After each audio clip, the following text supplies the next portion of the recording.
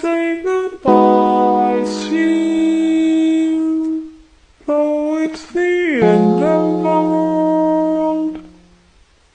Don't blame yourself.